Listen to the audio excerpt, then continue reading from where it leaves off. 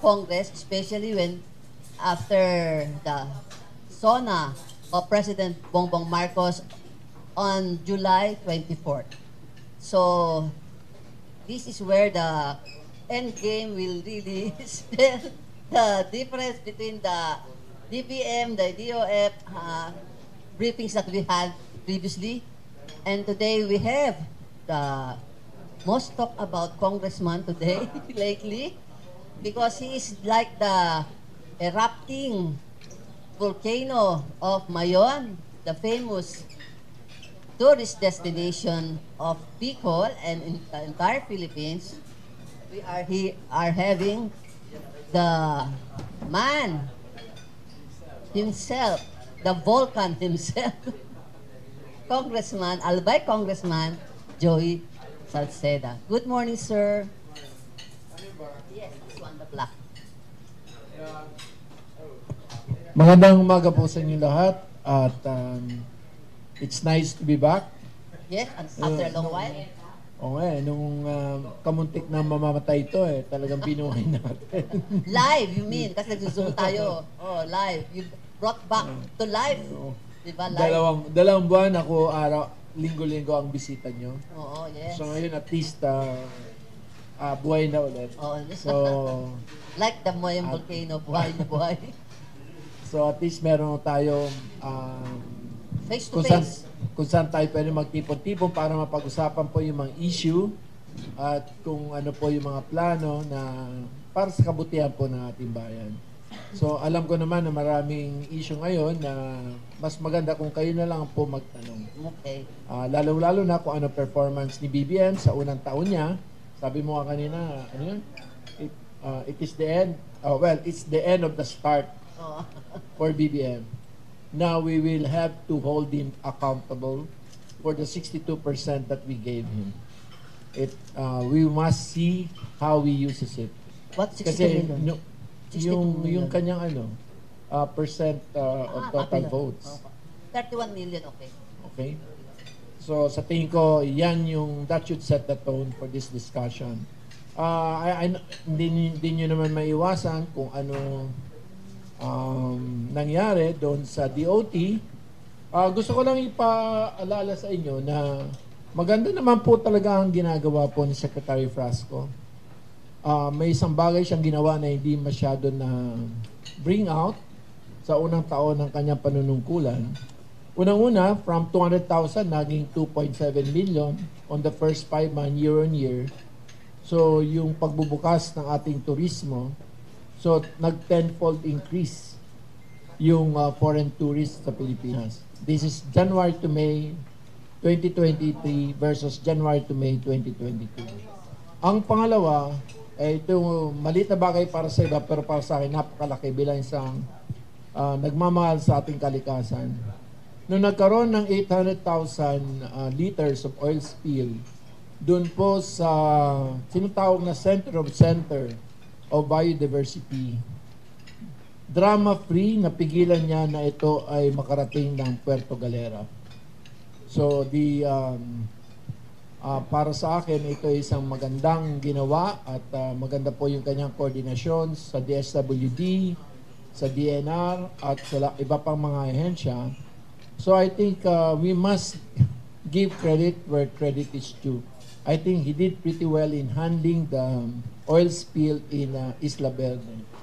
At um, mga 194,000 farmers ang kanya pong natulungan at ah, ah, nabigyan ng pag-asa na hindi apektado ngayon napanumbalik yung kanilang ah, ordinaryong um, hanap buhay.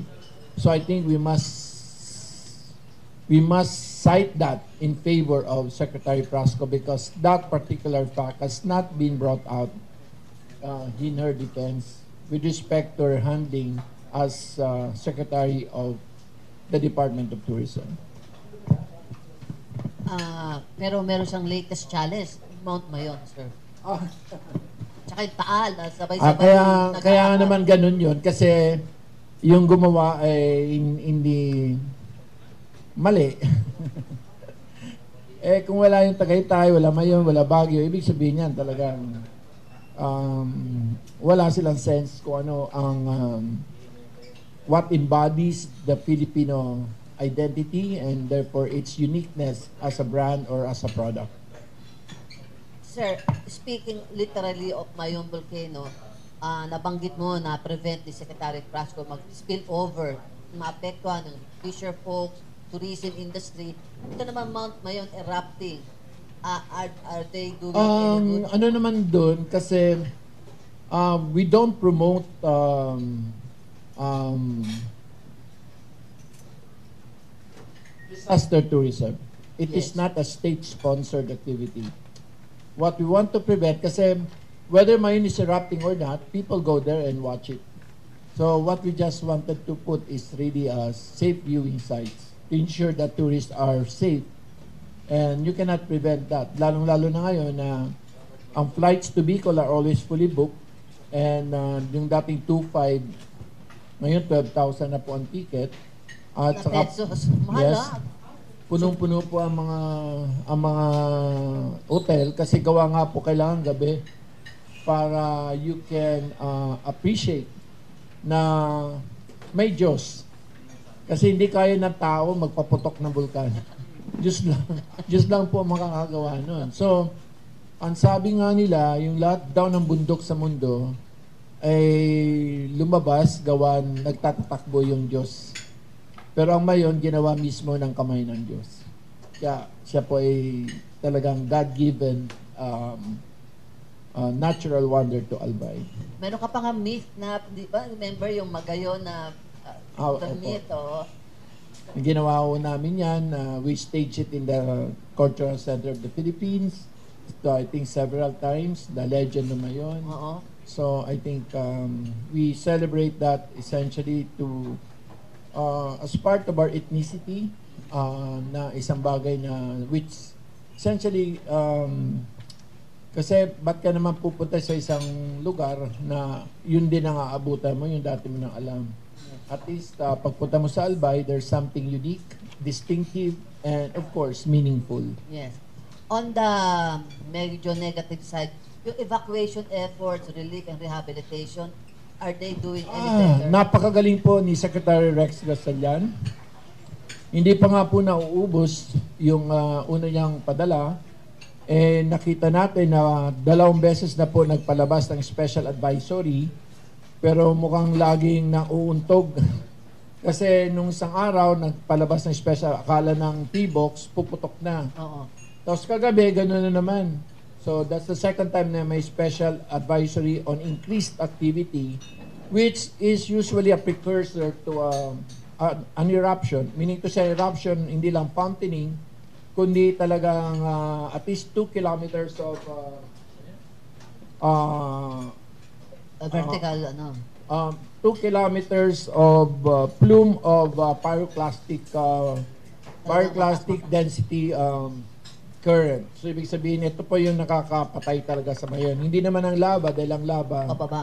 pababa at saka yung magma. Pero yung pag pumutok yan, 2 kilometers, ang laki. Taas ah that's the problem. pumutok. That's a problem. Ang ang mayon naman kasi it's well it may look complex to many of you but for as long as there are no people inside the 6 kilometer or the 7 to 8 extended uh, danger zone then uh, things should uh, be normal business as usual. So you just have to have no people inside the danger zone and take care of the evacuees so they don't return. The rest should be normal. So being yung uh, making things taking care of the evacuees, we have to thank uh, Secretary Rex Gata. He's done a fine job. Never in my 27 years as a public servant have I seen a DSWD so proactive, so anticipatory of the need. So, yung mga, if you talk to all the mayors, I think they have enough for for for the 45 days. So, kumbaga sa ano, nagsimula yan June 5, nagpa-evacuate June 8, So they have, I think, at least um, till SONA, they would have the, at saka naka-preposition na rin po yung mga pangdagdag. Kasi last week, uh, nagpadagdag ulit siya ng 15 days. So, andang-handa po ang DSWD para tumulong. So wala akong reklamo. So yung mga ibang bagay na lang po siguro like wash, water and sanitation and hygiene. uh, usually yung tubig, um, inodoro. paliguan, tapos yung panghugas na panglaba, yun talaga po. At saka syempre, yung uh, health, uh, and, but the health naman, eh, the DOH has been proactive also. They provided one doctor, four nurses every 12 hours for all the 32 evacuation centers. So actually, in Albay, before, during my term, the health statistics in the evacuation center is better than outside the evacuation. There are lower morbidity, lower mortality, and there are less health problems because we are able to take care of them. When you were the governor. Ah, uh, because they are inside the evacuation center. And then uh, because they have so much time, we're able to provide them with more tech book training. We're able to provide them with more um, um, special education, um, yung mga dagdag na kaalaman. So, um, in agriculture, so when they go back, they're actually uh, more uh, more empowered and more capacitated. So dapat ulitin yun sa evacuation. Mukhang uh, I think uh, it's already in the muscle memory of Albayanos. okay. So nasa alam na kagad Paano nila. eh. gagawin, alam no? na lang kagad nila kung saan pupunta. Alam kagad nila kung sino magbibigay sa kanila ng daily ration nila. Walang pila. Kasi may template na. If you look at uh, the evacuation center, uh, I would like to know from the media whether they have videos of uh, queue or pila. Because pila is an insult to human dignity. Eh, biktima na sila, papipilahin mo pa. So, you don't make them queue for something that they deserve. So you can see that uh, the baranganic structure, as if they were in their normal barangays, are still followed. So yung mga purok officers and their family leaders, so binibigay sa kanila yung kanilang mga rasyon. Ah, At sila nagdi-deliver. So it's delivered. It's not ano, just like uh, what we did uh, as an example, the nagbigay sa akin po ang Jollibee. So para mawala yung monotony ng kanilang diet. So lahat nabigyan po ng 31,000 chicken joey. Chicken joey. So At one day yun. o how many days yun? Ah, two days. Two days. Chicken joey. Baka ulitin ko pag nag-signal for, alert for. Ay, ngayon, anong signal? But we're prepared. Oh, We're prepared. I think we're prepared. okay. That, those were very, um, very big, I mean, great uh, endorsement, I mean, great recognition of what the DSWD has been doing. So, that's a plus. And the, and the DOH. And the DOH. Kasi dati, nung panahon ko, ako ang naggastos sa mga nurses. Bakit, Yung sir? mga walang trabahong nurses, kinuha ko para sila magbantay sa lahat ng evacuation. Hindi ka makakapasok na evacuation camp kung hindi ka dadaan sa aming pong health station. Okay. May isang doktor. That's before pandemic. No, uh, during an evacuation.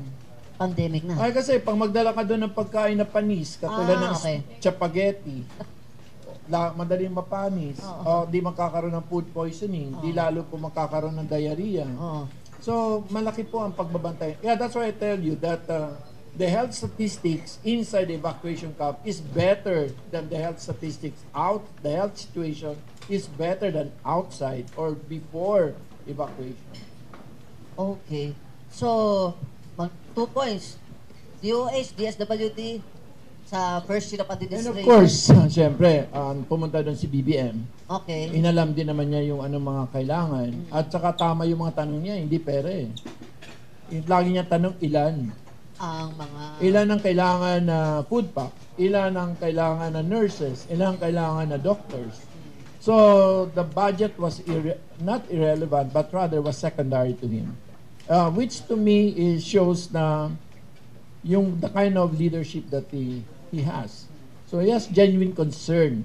So, rather than talk about pesos and cents, he was talking about anong laman nung food pack, ilang araw ba yan maglalas, ilang beses ka ba magdi-deliver. So, that, that to me is really an authentic um, leadership. Because he was once a governor of Ilocos Norte, na like you, naging governor ka, you talk the same language. Oh, yeah. Now, Yes na lang ako. Anyway, oh, maganda na yung mga ah, scoring mo from BBM down. So, what are the negative sides during the one year of BBM? Ah, wala pa nga tayo positive side eh. Pa- Ah. positive to sa akin yung DSWD. As a, Wala yun. evacuation lang in terms of evacuation. Doon lang ng, sa amin. ah, sa inyo, sa Bicol. Ah, Uh, this is the the 2023 budget is the first budget is the earliest budget to be approved yeah. since year 2000. Ah, Ganun katagal? Uh, ibig sabihin every all the ba- other budgets Oo. were approved late. Oo, yes. In fact, reenacted. You- So the first BBM budget was the first budget that was earliest to be approved since year 2000. tagal ng gap. Uh, it shows the benefit of the 62%. At the end of the day, we will come back. Did he use the 62% or not? Because that's a very big political capital for him. And he must use it for good or for the best. Okay. And that goes also with this Vice President? Oh, Kasi- niya, tama. With this Vice President. Eh, ang Vice President naman, nag-aantay lang yan para kung may iutos ang presidente, antayin mo mamatay ang presidente.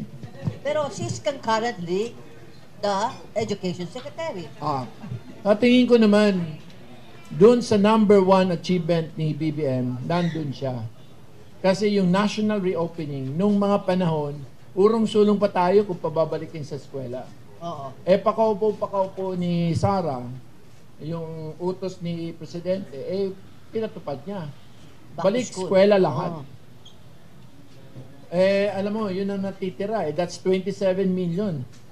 Students. Oo. So, ibig sabihin, oy, balik na kayo. Oo. So that finally forced uh, the body politic to essentially deal with kung meron man mga ramifications o mga unintended consequences o yung mga implication Oo. na na hindi natin anticipated gawa nga may COVID pa. Oo. Although that essentially um, started the de, the de facto na wala na talaga tayong health emergency. Oo.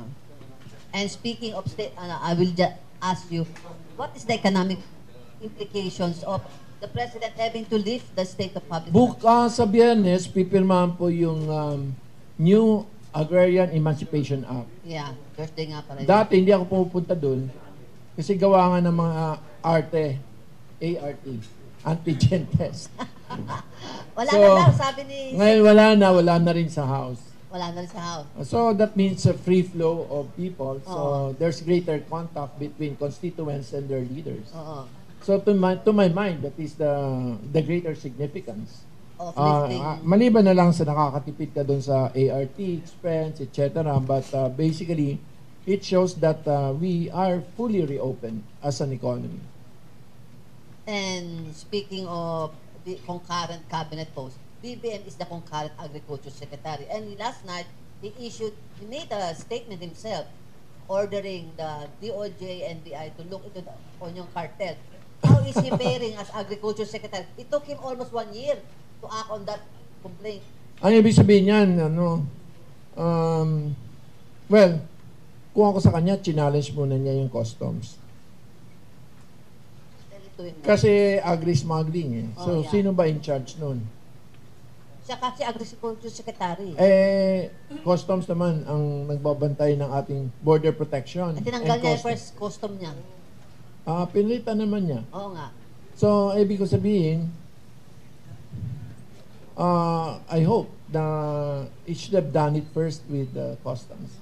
Di ba he has done it already? Aba, wala pa ako nakita na inutusan niya eh, na ang customs na ano. Wala namang na jail. Nobody was nobody's getting jail. Kailan kaya pa? walang, walang takot. Kailan pa sa istorya ng Pilipinas na may nakulong dahil po nag-smuggle? Wala nga ako ma-recall eh. So, Tax evasion, meron ba? wala pa rin. Ako natin, hindi ako, ewan ko ba't may may... Because that, that, that really reflects on the capacity of this country, of the state, to tax the rich. Which is the single biggest flaw of our nation in terms of our character, national character. The biggest flaw of our national character is our incapacity to tax the rich. Bakit yung mahirap ba nag-smuggle? yung mahirap ba nagta-tax evasion, wala nang income, mag-evade ka pa. Pero your tax soak the, rich with taxes has not Alam mo, marami kasi positive na nangyari nung panahon ni BBM. Tapos dinadala mo na ako sa negative eh. Oh, So baka lumabas dito ang headline. ang headline yung negative. oh. anyway, marami mga plus. Pero tama yung ginawa niya na patulong na sa NBI sa DOJ. Hmm. Pero nung unang pina na inutusan yung NBA DOJ ni Duterte na patungkol dun sa rice cartel, wala rin nangyari. Oo, di na mo alam, nobody, mga ano lang, photo op, nahuli. Afterwards, Ay, hindi si GMA, ha? Inisa-isa yung mga warehouse, pinabuksan. oh, yung sa rice no, nakatanda Oo. ko. Oh. At si, ano, napagalitan from head to toe, si, ano, Abad, NFA siya dati, eventually replaced. Mga Kaya nga. estudyante niya, mga kaklase mo sa Ateneo. Ako naman, lagi napapagalitan. O kaya nga, Sanay na ako. ngayon hindi ka na nakakagalitan. Ah, ganun pa rin.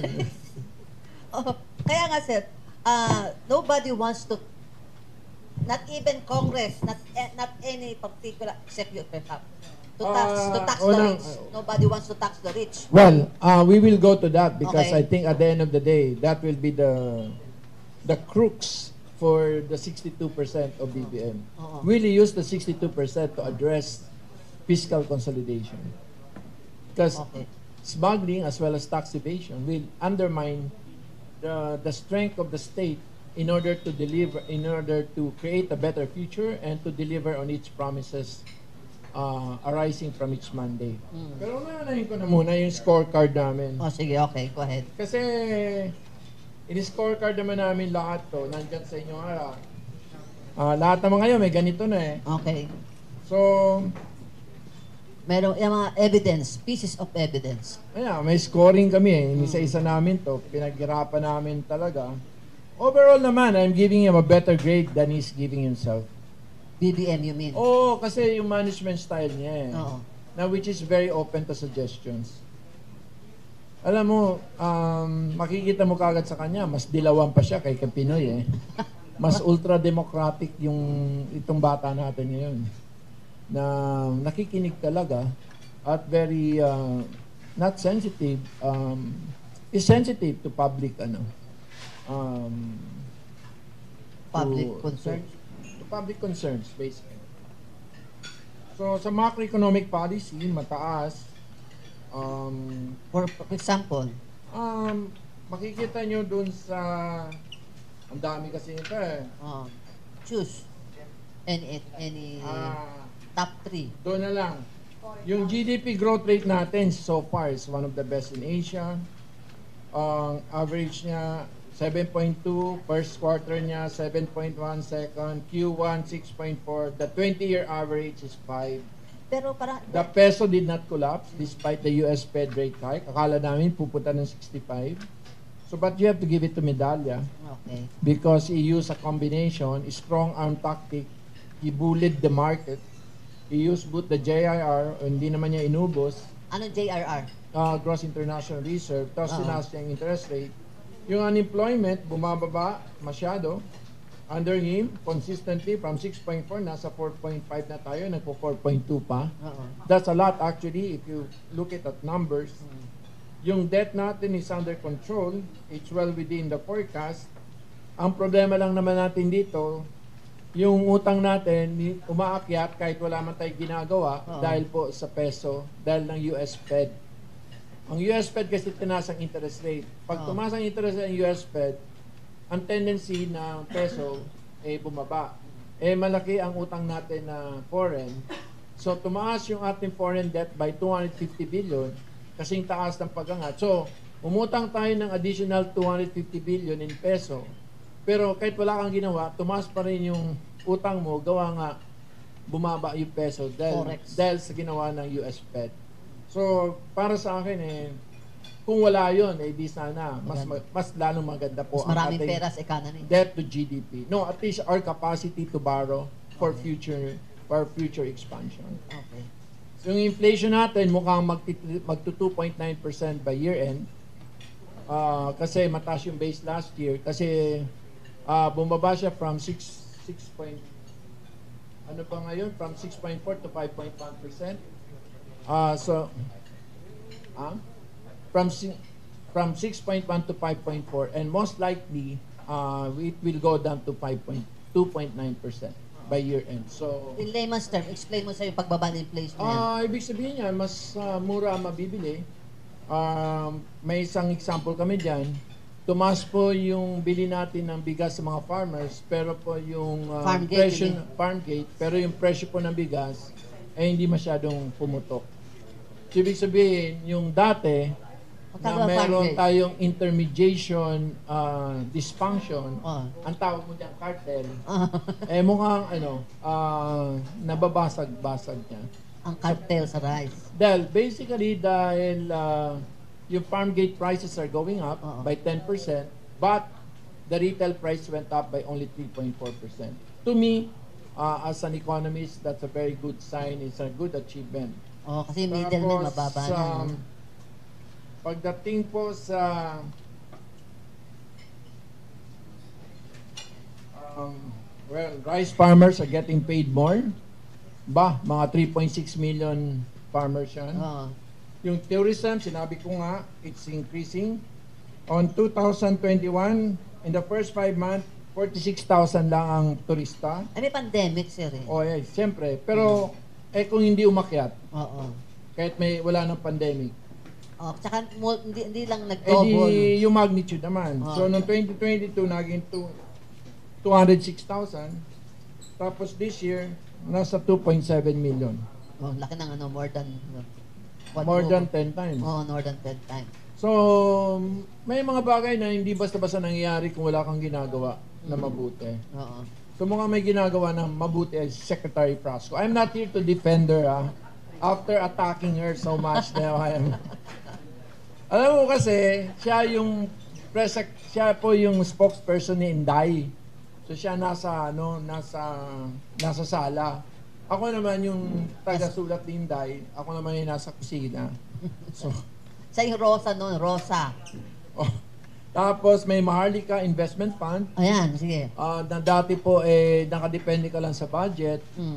Ngayon po, ito ay isang pondo na pwedeng gamitin para sa development Mm. na kasi dati yung 5.7 trillion mo, nandun na yung pasweldo, nandun yung pension, nandun lahat. Oo. Ngayon ito purely for development. Oo. Finally, it is there and uh, soon it will uh, operate and therefore invest doon sa mga malalaking high high capitally intensive na um, jobs generating na kailangan po natin for For competitiveness. example, Um,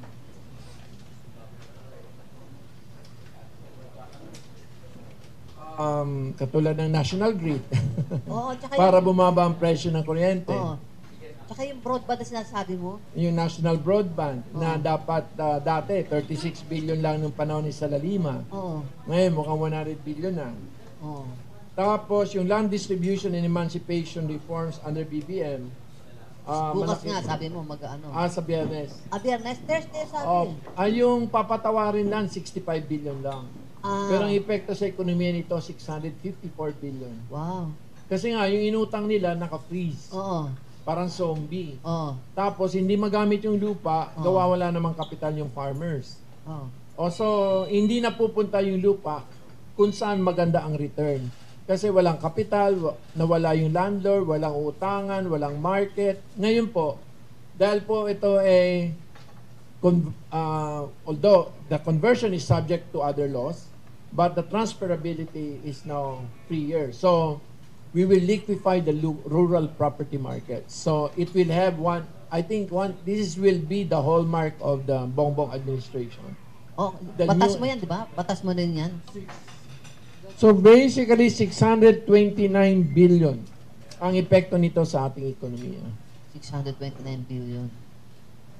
Pag At ang epekto nito ay kung nasaan ang 74% of poverty. 74% of poverty is rural. Oo, yeah. So, ito naman sa legislation, apat na batas. Ah, 40 po ang nasa lidak. Ah, kwa, lahat na approve ng House. So 36 pending in the Senate.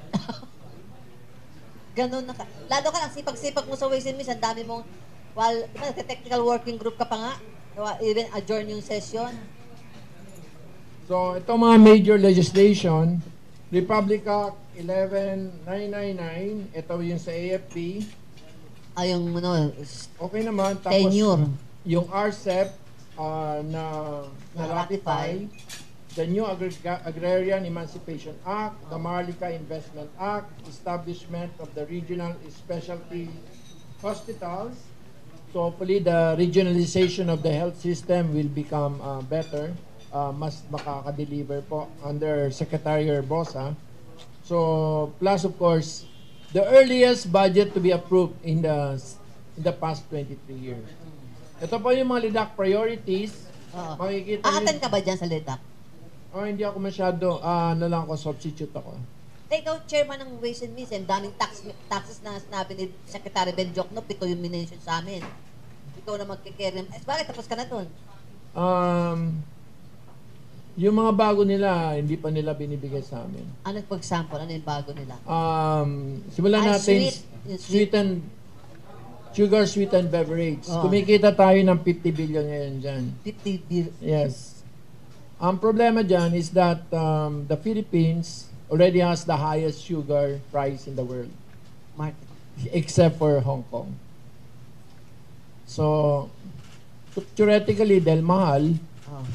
Di, di ka magkukonsume na marami. Pangalawa, we have the highest tax on sugar. In fact, there are only two. Mexico and the Philippines. Sa Mexico, 3 pesos. Sa atin, 6 pesos.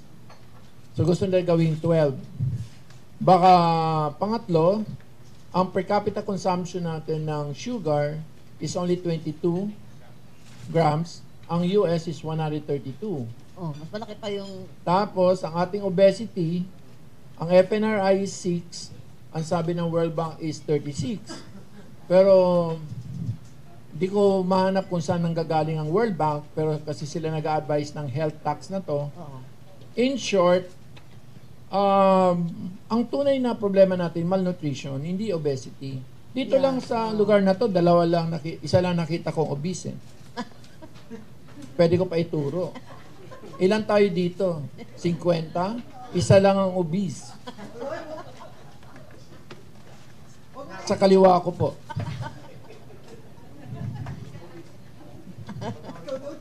Hindi, si Weng Ofemia.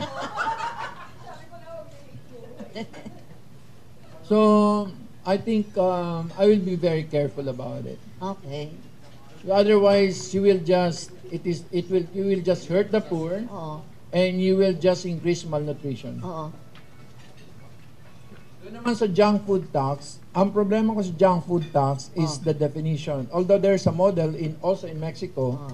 uh, wherein for if the content is 270 calories for every 100, then you impose a tax. Oo. They were able to raise 100 billion pesos Sa Pe- Mexico. sa Mexico. Oo. Ang problema sa Mexico kasi ang kanilang obesity 76%. Malaki. Oo. So, Sa pang, atin? Sa atin, sabi ko nga, may 6, may 36. Okay. Kaya sa Mexico, yung 76, bumaba by 15% to 67. Obese pa rin. So sa atin, kung 6, i-15% mo, magiging 5.5. So, ano naman yung incremental benefit? So in other words, it's just a revenue measure. Oo. It's not a health tax. So ang problema ko dyan, pangalawa, yung junk food dahil marami yan asin. Oo. Pinag-aralan namin kung asan yung asin, 69% ng lahat ng asin sa pagkain ay galing ang hilig nyo sa sausawan. Oo, yan. Wala Pag-is. sa processed food. Oo. Asan ba? Pengi po dito ng isang ano, ligo or anything. Oo. Asan Wala ba po. yung mga mga dilata dito? Oo. Bakit? Makikita nyo doon na yung asin, hindi ganun karami. Oh, Oo. eto. Tingnan mo. Ah, Andito ba? Wala eh. Walang... Nakalagay is slightly salted. Oo. Pero pag ang 69% ng asin ng Pilipinas kinukonsumo dahil ang hihiling natin sumausaw, magdadagdag, etc. So, Lalo na yung mga politiko. may sumausaw. 69% of all the salt in the Philippines are added. It's not intrinsic to the product. Okay. Okay. So, sino ngayon ang bubuisan ko? Oo. Si Mang Tomas, Supatis, Supatis. Silver Swan. Oo, European, ano. Eh, Ten- 90% ng asin sa Pilipinas is imported. So do you want to put an excise tax on asin? Eh, ang liit-liit ng value nun, ha? So, how do you tax it? Upon removal? Nasa barko pa lang, bibilangin mo na, tapos cha-charge mo. Yung sinabi nga ni Secretary Benjok na mas malaki pa yung administrative cost kaysa mas- Yun ang problema ng junk food tax Oo. because we have an FDA which does not have a capacity to measure. O ngayon, ang sabi nila, paano naman yung Lucky Me? Oo. Kasi sa ibang, ito, exempted daw. well, ang uh, reklamo daw, dahil meron niya mga chemical na pinagbabawal. Oo. Aspartame. Ewan ko kung ano. Oo. Ano ba tawag nila doon? As sugar pala yung aspartame. Yung preservative. Oo. Kung tinax mo, you still allow it. Oo. So the only way to do it is prohibit it. So ibig sabihin, wag mo papasukin. So, a taxation will not solve the problem. Okay. Because if you tax it, you allow it. Di ba?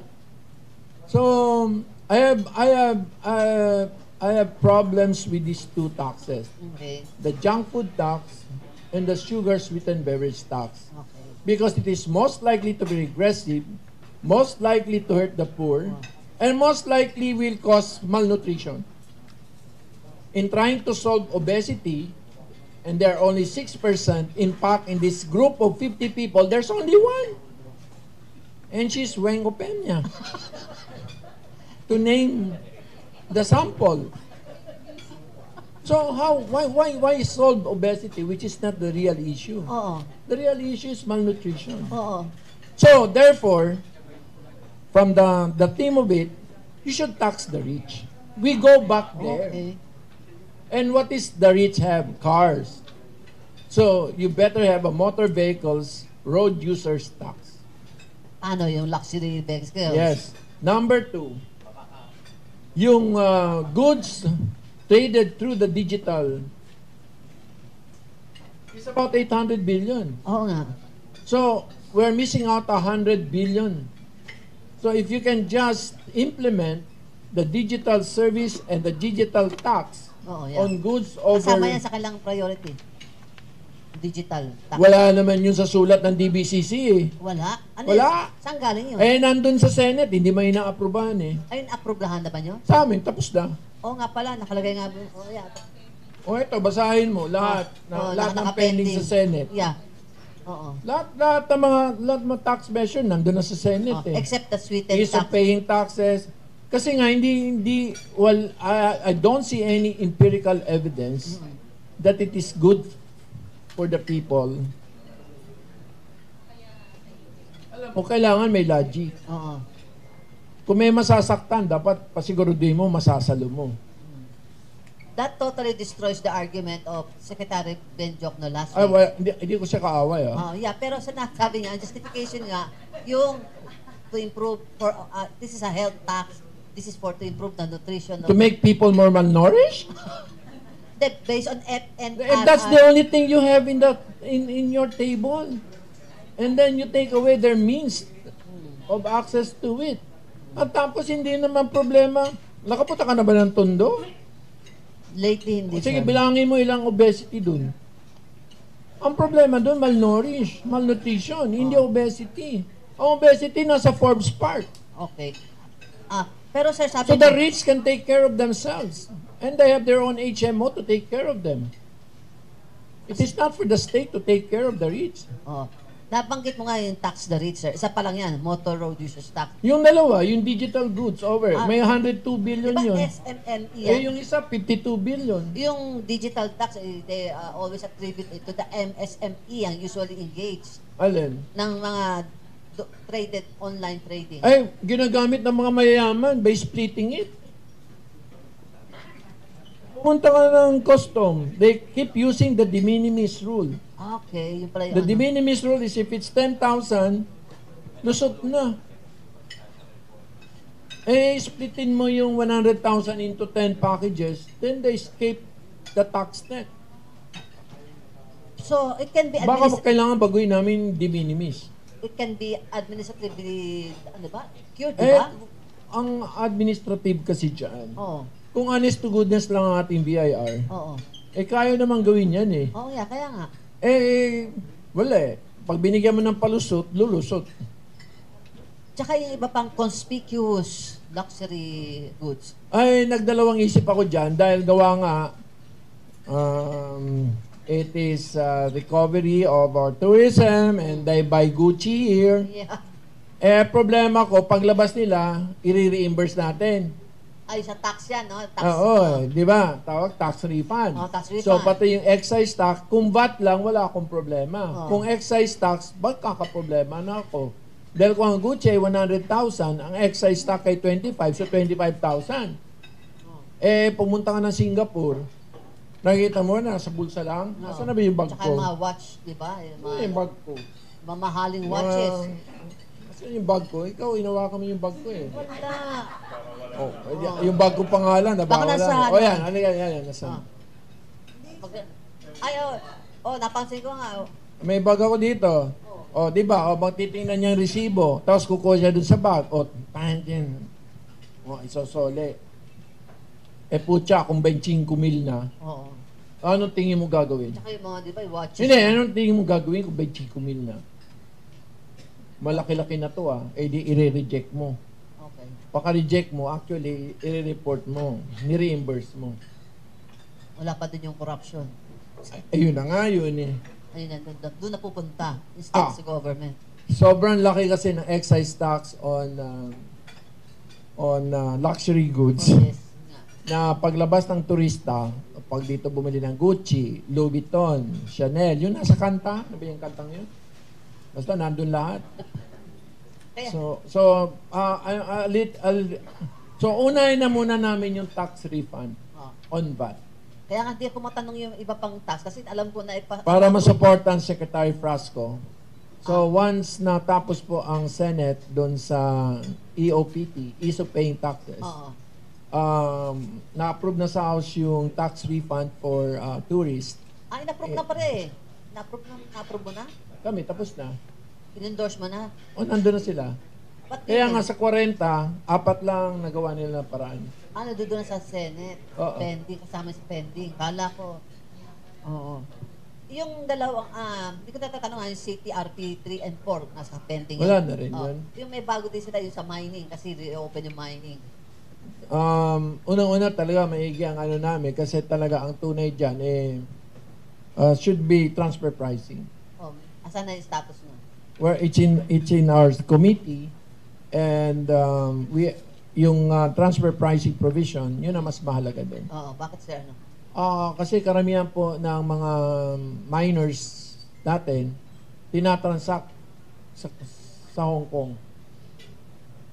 So, pag-alis natin dito, um, konti yung transact. content, pagdating sa Hong Kong, binibenta nila ng tamang presyo.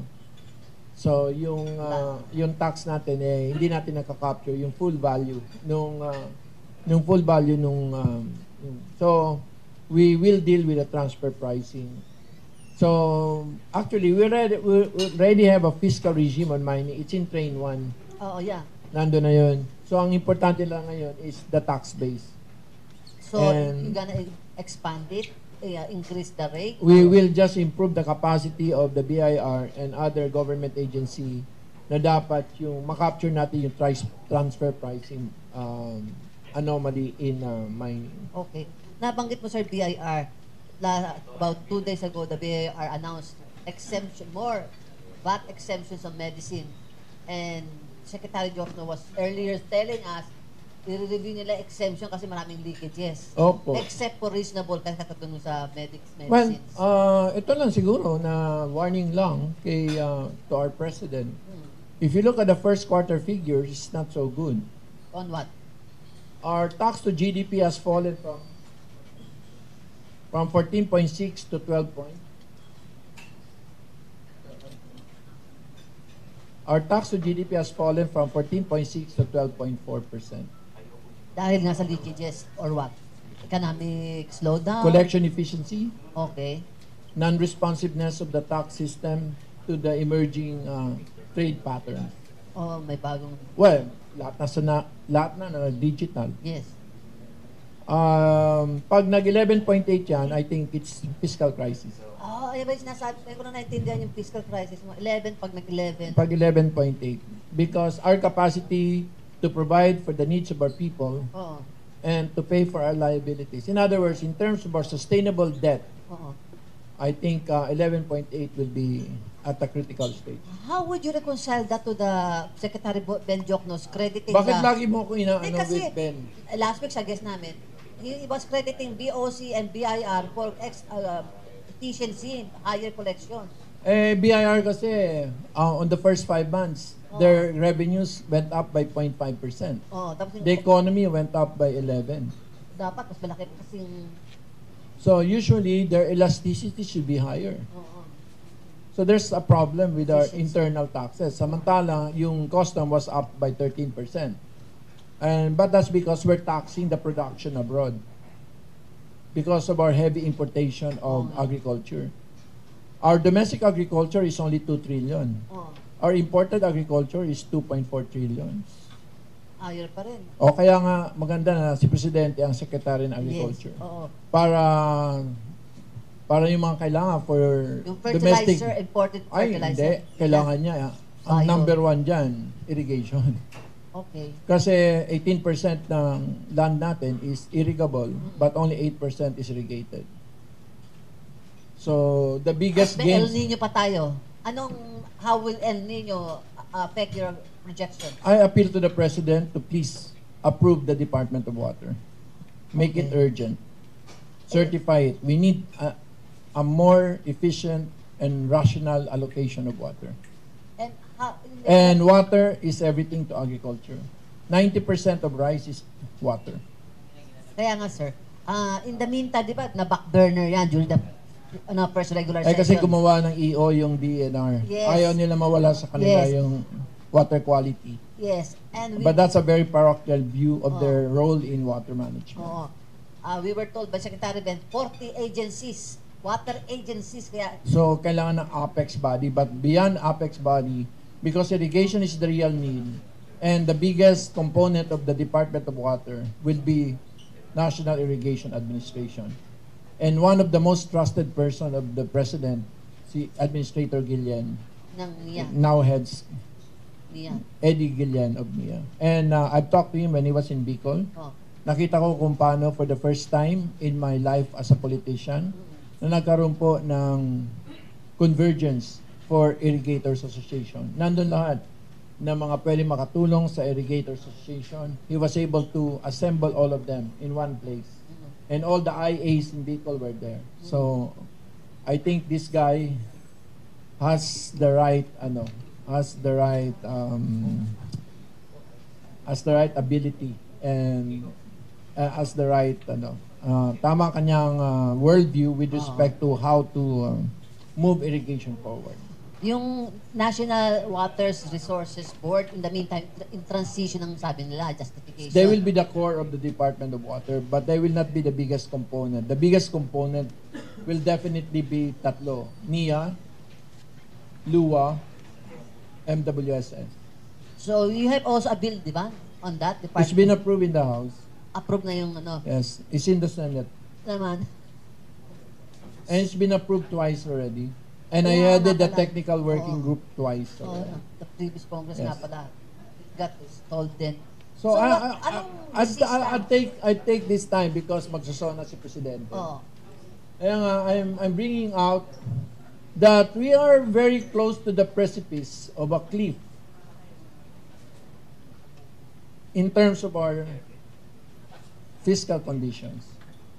You have a BIR whose growth is only 0.5% versus the total nominal GDP growth of 11%.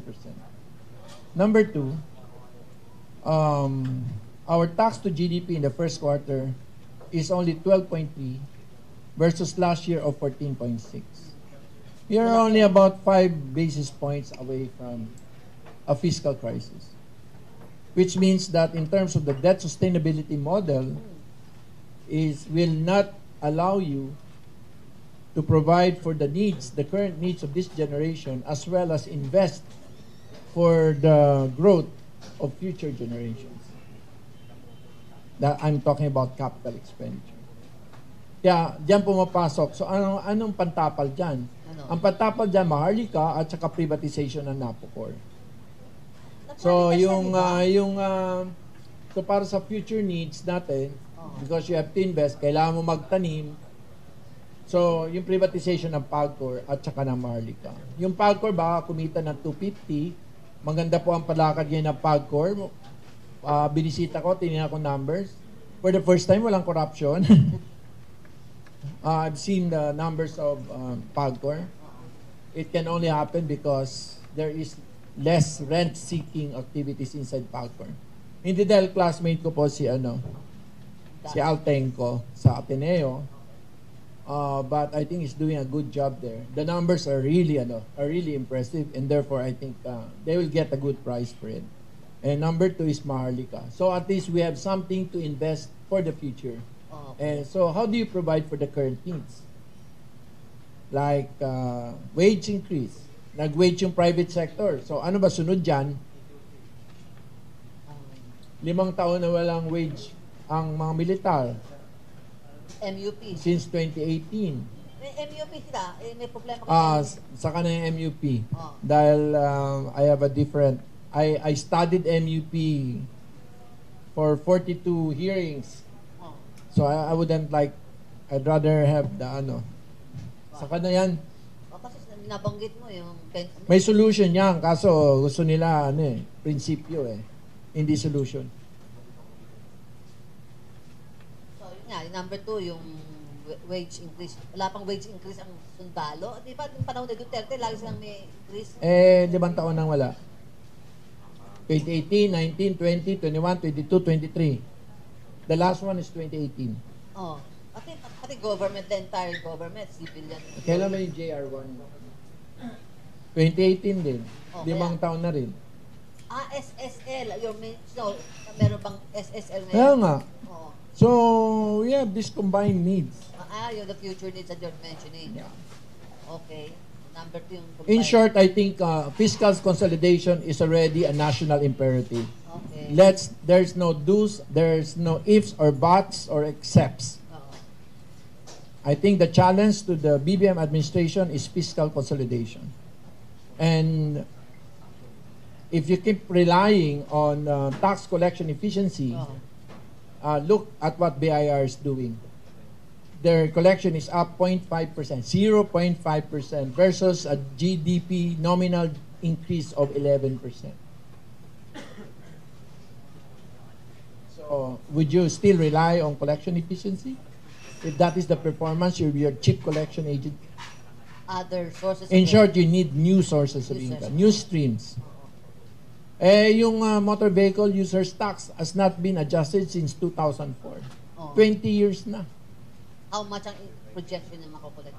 Uh, initially, ngayon sana 9 billion, but next year, uh, 40 billion. 4-0, ba't tumaas?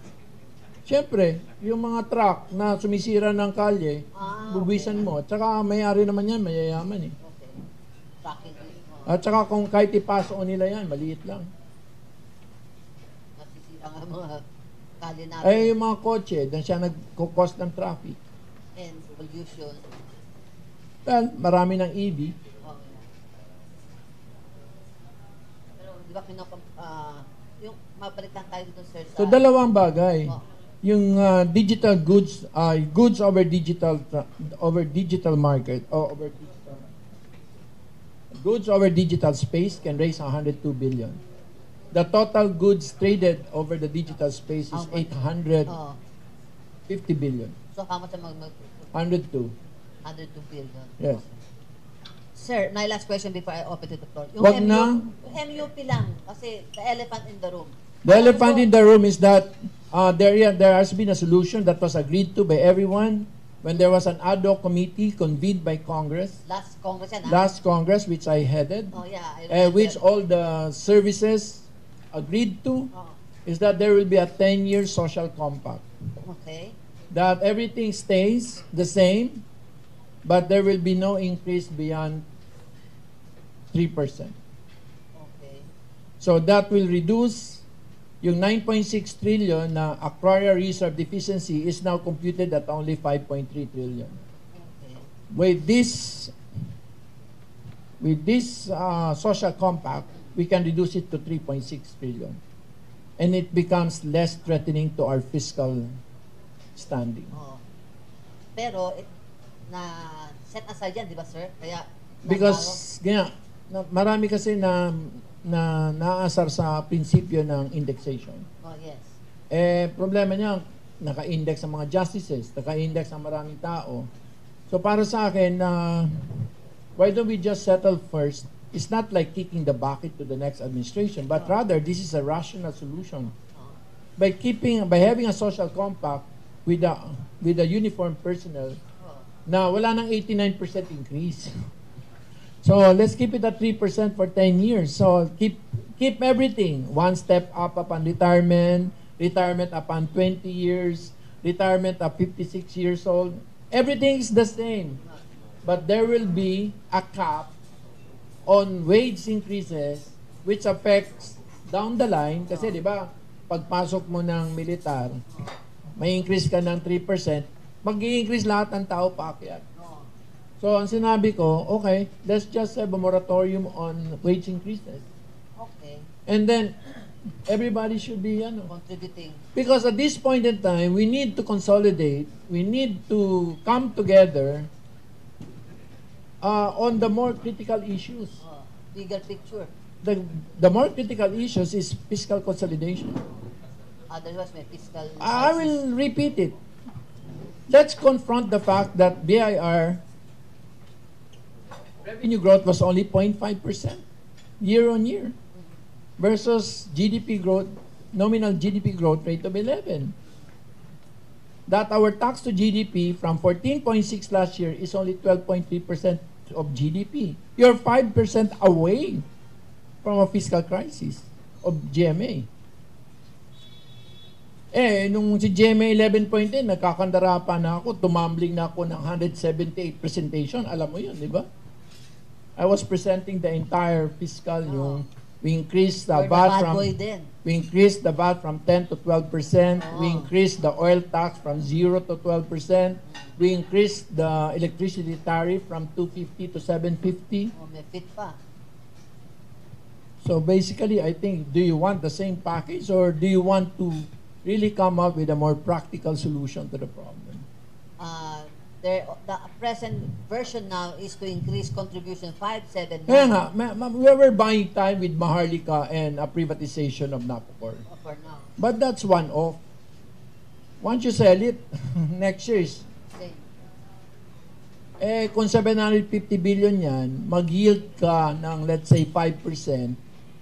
So, that's about 50 billion. What's that, the MIF? Ah, the MIF plus Napocor. Ay, Pagcor. Pagcor. So, magkano lang yung 50? Oh, kulang pa. Eh, ang requirement ng fiscal consolidation is 325 billion. Some economists, uh, we need 500 billion. Para may space pang konti. Para we need space to invest for the future. Yes. especially for our national ambition. Especially the... Ambition to be upper middle income. Okay. Definitely, there is a fiscal threat to our goal of being, being an upper middle income. Pero right now, wala tayo dun sa upper middle income. Middle income pa rin tayo. Well, um, it will weigh down on our ano, capacity. Remember, some of our costs are already fixed. Like NTA is fixed. ano? IRA, Okay. our interest cost is being managed well, but you can only do so much. Taon-taon, nangungutang tayo ng 1.3 trillion ha, per deficit ha. Yeah, yeah, para sa budget. Plus yung uh, nag na mature na 600, so 2 trillion. So ewan ko, araw-araw tumatumbling si National Treasurer kung saan kukuha. 600 billion, interest payments pa lang yun. Ah, hindi, yung maturing principal. Ah, oh, maturing principals. Okay. Kasi kasama sa interest yung one, na kasama yung interest sa 1.3 trillion. Ah, okay. Na na Annual na. Na no, na Debt servicing. deficit, na Oh. deficit. A deficit. Okay. Mabuti na yun na magkaharap-harap. I, I, I- I thank, uh, salamat po dito sa forum na to para may labas na natin bago mag-SONA. SONA, yeah. Para the Address. President can come up with solutions, Yeah, agad. inspire the people that uh, we have solutions to these problems. These, these are not, as I've said about Frasco, uh, we all make mistakes, but uh, hindi naman siya irreversible. Okay. On that note, uh, the floor is now open. No more questions. Ah, please introduce yourself first. Oh, let's start with ano, Mela of PDP Corp. Wala yan. Hi, hi sir, good morning po. Sir, um, kanina medyo nabanggit nyo at nasa presentation nyo, pero ah, itanong ko lang din po kasi yung ah, napaulat nga na utang ng Pilipinas ay ah, umabot na ng 14 trillion pesos. Ano kaya yung pwede pang gawin ng, ano po yung reaksyon nyo dito at ano pa yung pwedeng gawin ng administrasyon para ma-handle Tax ito? the rich. And sir, paano kaya to makaka-apekto? tax the motor vehicle users tax increase it it's 24 years old and number two tax all those goods it's the traders who make money not the consumers goods traded over the digital space Opo. that's almost 152 billion Opo. And second lang, sir, from my end, ah, kahapon kasi nabanggit ni House Secretary General Reginald Velasco na may LEDAC meeting today sa Malacanang. Ah, medyo nabanggit niyo na po kanina. Pero just to be clear, kasama po ba kayo rito at ano kaya yung substitute lang po ako Hmm, you mean substitute? um, pag-absent si um, Saldico ako Afro, sa Afro. Pero so far, wala pa pong abisa sa inyo. Ah, ibig sabihin present sila Thank you po. Ta- tatlo lang kasi from each house Ah, sino yung tatlo sa house, sir? Ah, bali si speaker, si Manjo, tapos si Saldi. Ah, Sir, ano po kaya yung expected natin na magiging bunga nitong meeting nila at kailan kaya ito isa sa public? I think uh, very transparent naman sila right after. Usually, uh, katulad itong ledak, nandito naman yung lahat ng ledak. Nakikita mo Yeah. naman dito, yung 40, di ang ba? laking utang ng Senado. Oo nga eh, sa 40 ang inapprove namin, apat lang. Sec, ah, Sec, Sec tuloy, Sen, ah, Congressman, itong performance ba ng Senate speaks ill of Senate President Subiri's performance? Uh, out of interparliamentary courtesy. Okay. Please, Jerry na lang, yung counterpart na, mo. na, nasa na siya sa akin dun sa estate tax eh. Okay. O, yung counterpart mo na lang, si Senator Sher- Sherwin Gas- Gatchalian, anong message mo sa kanya? Kaibigan ko yun. Oo, kaya nga sa kanya katenga lahat eh. Sa kanya lahat nakapending eh. Siya mag-account nun eh. Anong message mo lang? Appeal mo na lang sa kanya. On a personal note, kung ayaw mo ng Uy, friendship. Pagalamin na natin to. Eh, doon naman kasi sa house. Oh, Beshi! Oh, Beshi! Hindi, friendship. Oh, friendship, okay. Eh, doon naman kasi sa house, ang nangungulit si speaker. Ah, okay. Partner! Di ba? Friendship, partner. Yung mga terms natin sa Tuesday Club. Pero ba? okay na yata sila sa EOPT at saka sa Pipita. Ah, oh yeah. Para bumaba po yung wish natin sa yung wish ah, yung wish natin sa dollar deposits ay may akyat kasi ah, it's unequal yung uh, wish sa peso deposit 20 pero ang ang foreign ang foreign currency zero so madaya Eh, yung ano nga, FDI natin mababa rin, di ba? Ah, aakyat din yan Foreign direct investments. aakyat din yan What's ano stifling our FDI? uh, high power cost but we have a solution. Kasi ngayon, papasok na tayo ng mga LNG. Oo. Ah, yung ah, renewable kasi, ilan na ba percent ang renewable? 15%? 20? Ang renewable, walang VAT, Oo. zero VAT, Oo. at saka walang excise. Oo. So yung LNG, ginagawa na namin zero VAT, tapos no excise. Batas na ba yan, sir? Ah? Ang LNG may batas na? Opo. Tapos sa House, na Senate na rin. Pending pa rin. Okay. Sir, you have a scorecard po. Yes. And what's your overall rating BBM? What- Better than his own self-assessment. 8.5. Any, uh, Actually, given the the number one, which is his management style, actually it, it is much higher.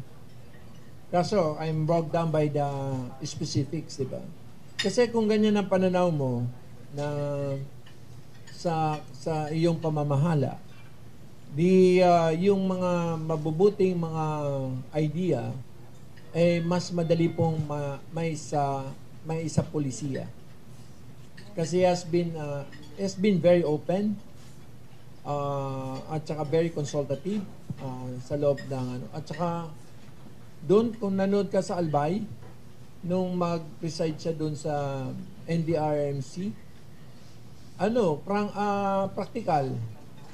Mantangin mo, wag mo ako bigyan ng mga peso sign. Bigyan mo akong ilan, ilan, ilan evacuees, Sino ilang nasabihan kar- niya? Sino nasabihan niya? yung regional director ng DSWD. Ikaw talaga. Si yun, media yun. Ah, Huwag kang hindi mo ganyan. napanood kasi. Ah, Mads from Hi Net po. 25. Hindi ko kilala yun. eh. Kilala mo yun. Tsaka seminarista yun. Ang sakit nun ha. Hello po, good morning po. Mads po from Net25. Sir, isa lang po. Walang kasi po. Sir, Yes, isa lang po. I, I don't answer your ano, your chat. Sir, yun sa tingin nyo ba, kasi ang sabi ngayon ng mga tao, dapat daw hindi napalitan yung um, for fun in the Philippines. Kasi malakas naman daw, okay naman, maganda yung nasabi Oo nga, may preba na mas malakas kaysa Wow Philippines. Doble.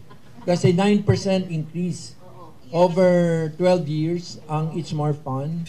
Sa Wow Philippines, it's only 5% over 6 years. Opo.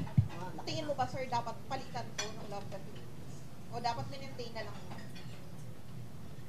Hindi kasi ako creative expert eh. So, I'd rather... Kasi kung ako, mag... I will make... Uh, uh, uh, I will answer that once I have the focus group discussion, I have the imminent persons group, and I have the usage, attitude, and image survey on the test marketing of a particular slogan. Pero dapat ang slogan hindi masyadong malayo sa realidad. So, kumusta na ba yung mga airlines mo? Puro cancel. Kumusta na ba yung mga airports, Airports mo? mo. Kumusta ba yung mga immigration mo? Oo. Na Nagdagdag na ng ano. maraming tanong bago ka mapalayas. Kumusta naman po yung mga hotel mo? Maganda ba service? Kumusta naman ba yung mga kalsada mo? Papuntang ano? So, affordable ba yung mga hotel rates and airplane rates? Ang So, mamahal. sa pananaw ko, uh, bra- branding or rebranding is a fool's exercise Okay. unless you know your product. So, define the product. So, we need national, we need sulong turismo. Yan yung ginawa ni Duterte pa, para malaman kung anong gusto ng tao eh. Sulong ekonomiya, sulong agrikultura. Ayun, magkaroon tayo ng sulong turismo. Para alam natin kung ano yung mga limitation natin. Kasi, gagawa ka ng ano, ah, katulad sa amin sa Albay dati, um, ang ano namin eh, warm Albay. Kasi may init talaga. Ay, talaga naman mainit si Mayon. Mainit kami Warm magmahal. welcome, warm hospitality. Ah, mainit kami magmahal sa maling tao. Sili. Mas sili kayo, mas siling Oh, may labuyo. sili. Kaya we, we wanted. So it, it, it, was compatible to all the elements of our products. So, sir, yung Love the Philippines, hindi nag-reverse. Mainit na pagmamahal. Ang, ang hirap kasi yung pagmamahal eh. Laging napupunta sa maling tao. eh. Pero sabi mo, di ba, yan kay Sarah yan, mahalin ng Pilipinas. Sabi mo, Uy, chika, chika lang yun. Chika lang. You're not supposed to say that. Ayoko na magbigay sa'yo ng comment. I-block na kita. Paki-block nga nitong babaeng to. hindi ko naman alam, ikaw lang, ikaw nasa, ikaw yung nasa kusina, ako nasa labas ng bahay, outside ako. You're not supposed to say that here. Ah, sige. okay. Sir, Yes. Yes, hi sir. Good morning. Sian from CNN Philippines. You mentioned that uh, you mentioned that you're willing to help uh, Secretary Frasco using your personal experience as former Albay governor. So off the bat, what are your suggestions to her to uh, further boost tourism? Alam mo yung unang ginawa ko? Etnografiya. Kaya kitang-kita mo doon sa nakalagay doon sa budget na yon. Consult NHCP and consult NCCA. What is it, ethnography? Tinignan namin kung ano meron ng Albay in terms of history, our language, our culture, our no. So we we started with an, an ethnographic definition of Albay per town, per everything. So actually, we started with that, and then we we looked at, let's say, um, kung ano yung natural resources na rin namin. So there there's so many other steps, but uh, sabi ni Socrates, know yourself.